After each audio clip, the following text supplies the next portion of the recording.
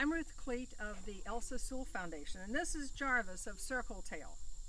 I'd like to tell you why the ElsaSule Foundation loves to support CircleTail, both with annual donations and also supporting events like this one.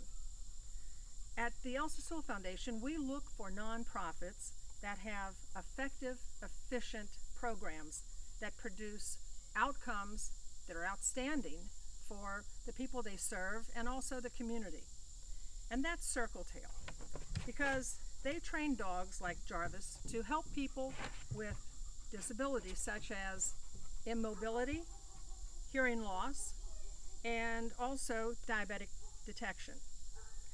So Jarvis and his classmates are always available to learn along with their human partners so that they can be of service. Now, Jarvis could have a change of career and not help someone with a disability, but he could be an ambassador to a governmental agency or a school. Or he could work for the government in scent detection. So he has lots, lots of career options.